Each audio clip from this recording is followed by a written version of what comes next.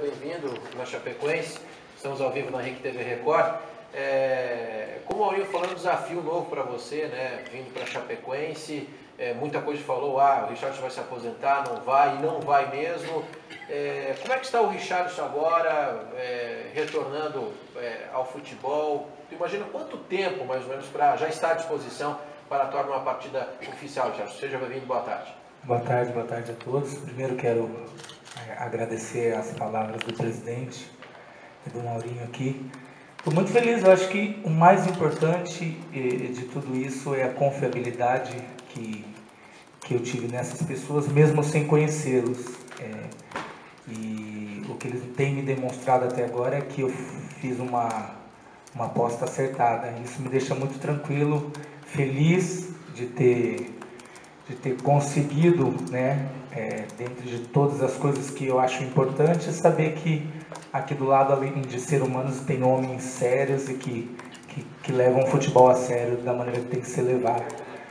Eu vinha treinando mesmo né, após né, a minha, minha coletiva falando que tinha que ia parar de jogar. Eu continuo, eu sou um cara que eu sempre trabalho, né, gosto de trabalhar, gosto de estar sempre bem, principalmente né, de saúde, essas coisas. Eu vinha treinando agora, claro que são praticamente mais de dois meses sem contato com bola, essas coisas, mas apesar da, da minha pouca idade, é brincadeira, apesar dos meus 32 anos de futebol, eu acho que isso não seria tanto problema né, de readaptação em trabalhos dentro de campo. Vou conversar com, com o Vinícius, conversar com os preparadores, as pessoas que trabalham essa parte física, para saber qual o objetivo, né? É, e quando eles vão querer que eu, que eu esteja dentro de campo. Agora, estou apto, acho que uns 80% fisicamente, claro que algumas coisas têm que ser feitas que são de praxe para uma volta, mas dizendo fisicamente e em termos de, de, de, coisas musculares, né, de preparação muscular, eu vinha fazendo esse trabalho, então acho que não tem problema nenhum. Agora, talvez a readaptação um pouco mais demorada, mas nada além de que uma semana, 15 dias no máximo, aí a gente vai tem que esperar para conversar direitinho. Richarlison, por que a passagem pelo voleibol e por que um certo mistério aí para definir realmente o retorno para os gramados? Olha, na verdade, é, as pessoas, elas, às vezes, elas falam o que quer sem perguntar, né, ou sem saber o que está acontecendo certamente. O vôlei era uma brincadeira, eu sempre joguei vôlei desde pequeno e fazia essa, essa mescla de jogar vôlei jogar futsal né, em anos escolares, né, tinha essa facilidade, mas pela minha altura optei pelo futebol e acho que optei certo. Foi uma brincadeira, todo final de ano que eu vou para casa para descansar, nós temos esse grupo que joga vôlei, esse grupo que foi o mesmo grupo que se inscreveu numa competição em Santa Cruz do Rio Pardo e era uma competição amadora e eu estava de férias, né, ainda sem saber do meu futuro e na hora, de pronto imediato, falei, pô, além de estar com os meus amigos, pessoas que eu gosto, eu vou continuar se exercitando. E aí houve esse turbilhão de coisas, né, falando que eu tinha mudado de modalidade, que eu tinha largado de vez o futebol, tinha ido para o vôlei, que era, e na verdade não era nada disso que estava acontecendo, era só uma brincadeira entre amigos e, e que eu estava participando e fui mesmo participar desse campeonato, como faria outras vezes quando não tivesse, é importante ressaltar quando não tivesse contrato com nenhuma das equipes, né, que no caso era a situação que estava acontecendo, mas nada além disso, nada de que estava mudando de modalidade, e isso me deixou muito chateado, por isso que eu não dei entrevista, porque as pessoas, elas primeiro elas falam o que quer para depois escolher aquilo que é o certo, e não é, nem sempre tem que ser assim, você tem que primeiro saber para depois, né, é, realmente saber se aquilo é correto ou não. Então foi essa a minha chateação das pessoas é, denominarem até de forma é, sarcástica, né? Ah, mudou de, de profissão, já agora virou livre de vôlei, tá? Mas graças a Deus a gente teve a tranquilidade como eu sempre tive. E no momento certo eu falei e expliquei tudo, e estou explicando novamente que eu tinha sim falado que largaria o futebol, isso é, é um fato verídico, mas depois de algumas conversas, principalmente com o Vinícius e, e desse projeto que a Chapecoense me apresentou, com certeza eu reavi, eh, reavaliei a minha decisão junto com meus familiares, né? No meu íntimo com Deus, que é meu particular, e gostei de tudo isso e hoje eu estou aqui podendo falar como jogador da Chapecoense. Richardson, boa tarde. Você é um jogador vitorioso, a tua trajetória por si próprio fala, né? Títulos importantes. Agora na Chapecoense, que tipo de ambição, você que já venceu os principais títulos que um atleta profissional pode alcançar, que tipo de ambição você vai ter na Chapecoense? Ah, primeiro de tudo, a gente tem que sempre querer títulos, sempre querer vencer. Não importa qual equipe que você esteja, se é considerado uma equipe de ponta ou se é considerado uma equipe mediana, isso são estatísticas ou são coisas que as pessoas elas avaliam da forma que querem. É, eu vim com um propósito na Chapecoense de sempre levar a Chapecoense no melhor que puder. É, falando de, de presente, a gente tem um campeonato catarinense que hoje, na minha concepção, é, é um dos melhores, né, por aquilo que tem é, é, pela quantidade de time que tem de primeira divisão, que são quatro, fora o Criciúma, que tem toda a sua história também. Infelizmente, ano passado teve esse percalço de ir para a segunda divisão, mas é, são cinco clubes, fora os dos interiores, que também não são menosprezados.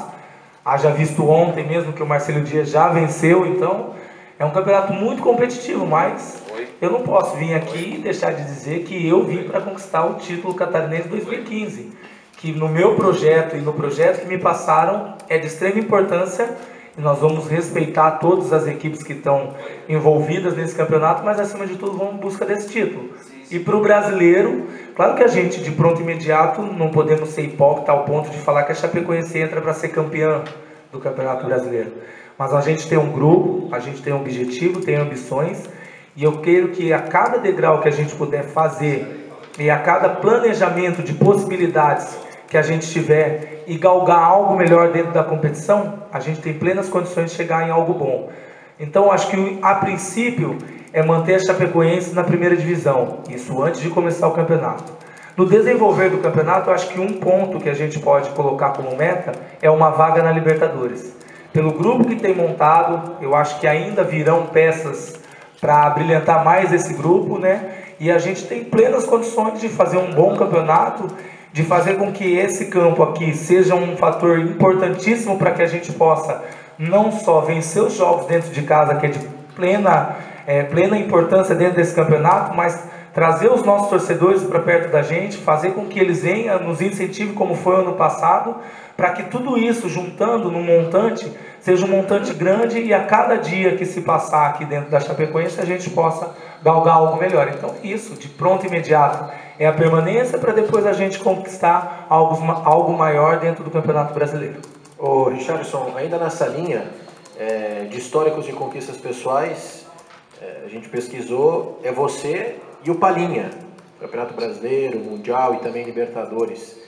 É, tu acha que tem uma pressão extra em relação a isso também, pela responsabilidade ou não? E até assim, querendo ou não, é, desde a sua contratação, a Chapecoense ficou entre os focos de, de vários sites esportivos e, no Brasil inteiro. Tem uma pressão extra em relação a isso não? Que, que bom que eu tenho essa pressão extra. Isso é sinal que aquilo que eu fiz antes de chegar na, na Chapecoense foi tudo de bom, maravilhoso, foi algo grande dentro do futebol brasileiro. Então, eu assumo, eu não tenho problema nenhum em assumir responsabilidades. É, até conversei sobre isso um pouquinho com, com o Maurinho, sobre que eu sabia que né, o foco viria para Chapecoense não só pelo Richardson, mas pelo aquilo que eu conquistei e pelo planejamento que a Chapecoense tem com a minha contratação. É, então é uma junção de coisas positivas e a minha reciprocidade para tudo isso vai ser lá dentro de campo. Não adianta eu ficar aqui conversando, lembrando do passado, daquilo que eu conquistei, se hoje no presente, para aquilo que eu sou para aqui para Chapecoense, eu chegar lá dentro e não, não passar isso. Então, é uma responsabilidade que eu assumo com tranquilidade. Claro que um mandurinha só não vai fazer verão. O Richardson não vai vir aqui atacar, defender, cobrar escanteio, fazer gol. Eu vou ser um cara que estou aqui para, junto desse grupo, trabalhar, trabalhar, trabalhar. E a hora que tiver lá valendo os três pontos, ajudar a nós conquistarmos aquilo que é devido, que são títulos, que são jogos bons, que são vitórias. Então, assim, eu assumo essa responsabilidade, mas ao mesmo tempo sou sabedor que sozinho eu não posso fazer nada. E o mais importante dentro do futebol hoje é o coletivo. E isso eu assisti já em, lá em Palhoça, no jogo vi a equipe totalmente coesa, uma equipe que tem um comando técnico e uma parte tática totalmente definida. e espero entrar dentro dela o mais rápido possível. De lateral, de volante, de meia também, né? É, um coringa. Você vem para Chapecoense para determinada posição ou vem para Chapecoense com essa função de coringa também? Então, é, é, não tive essa conversa amplamente ainda com, com o Vinícius. Ele sabe que eu sou, estou sempre apto a fazer aquilo que é melhor para a equipe, seja de zagueiro, que você esqueceu, seja de volante, seja de lateral, seja de meia e seja de lado de campo também, que eu já fiz bastante essa função, tanto no São Paulo quanto no Vitória. Eu estou aqui, estou à disposição. Eu acho que o mais importante, claro que individualmente para mim, é saber que eu tenho essa condição de fazer uma ou mais posições dentro de campo. Para o treinador, isso é bom porque ele pode mudar a formação tática sem mudar jogadores. Então, é, é, é, isso vai ser uma conversa que, claro, que a gente vai ter, que eu vou ter com o Vinícius e saber o que, que ele acha melhor. Expor a minha ideia, eu nunca deixei é, é, de falar que eu prefiro jogar no meio campo, seja um, dois, três ou quatro, qualquer posicionamento de meio campo eu prefiro jogar ali, mas fico à disposição sempre. Então, é claro que é, essa coisa de estereótipo de coringa, às vezes é bacana, às vezes não é, mas eu não ligo também para essa coisa. Mas muito mais importante eu estar apto a fazer aquilo que o treinador pedir, para que a Chapecoense saia vitoriosa e quem saia sempre com as melhores coisas seja o Chapecoense. Richardson, um abraço, seja bem-vindo, tá certo aqui, ó. O, vamos recordar um pouquinho no passado, você jogou contra o Chapecoense aqui naquela vitória? Joguei. Aqui deu um bolor na cidade, mandaram o treinador embora, com razão, era para ter ido antes, mas enfim. Uh, e depois teve aquele jogo contra o Flamengo lá do Vitória.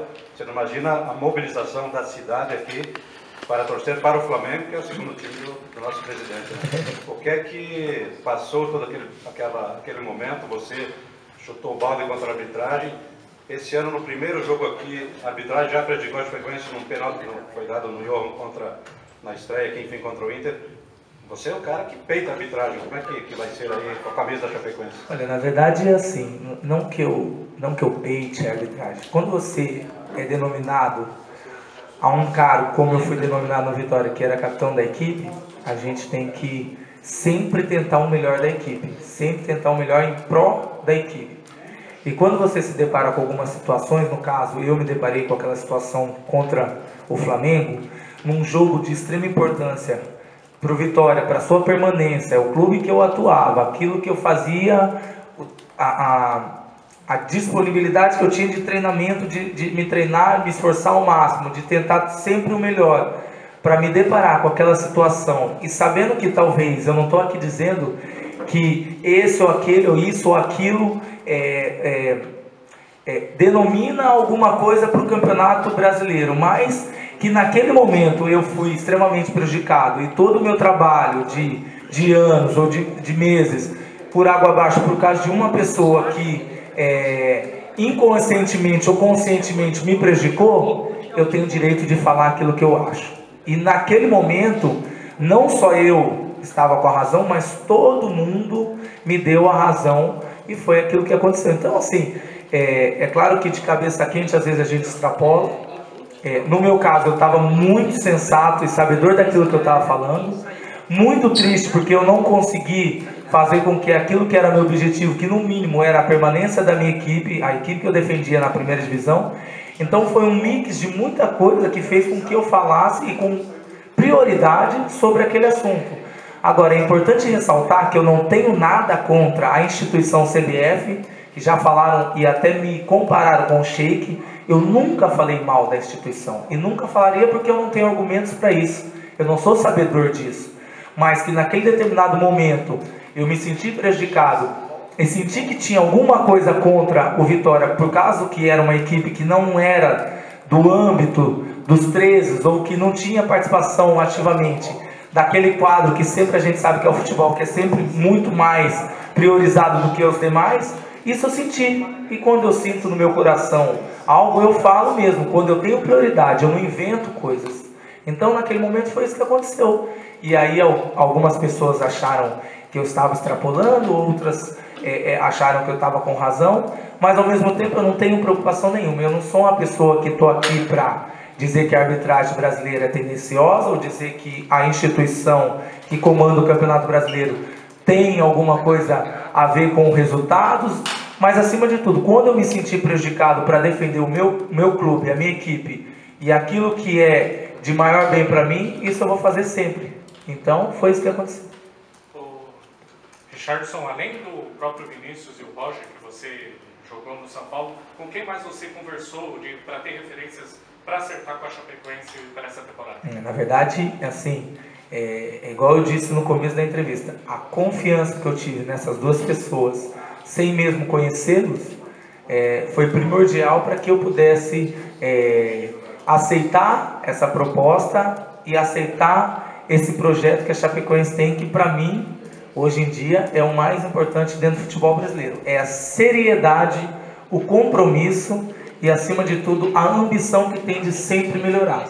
Claro que o Vinícius, é, eu já falei e repito, foi uma pessoa que, que, que mesmo antes da gente ter esse acerto, e mesmo antes dele acertar com a Chapecoense, ele me ligou falando sobre a minha aposentadoria para que eu repensasse.